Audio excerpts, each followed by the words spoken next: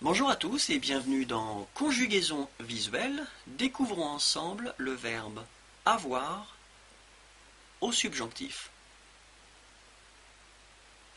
Que j'ai, que tu es, qu'il est, qu'elle est, que nous ayons, que vous ayez, qu'ils aient, qu'elles aient. Voilà, c'est tout pour le moment. Au revoir et à bientôt.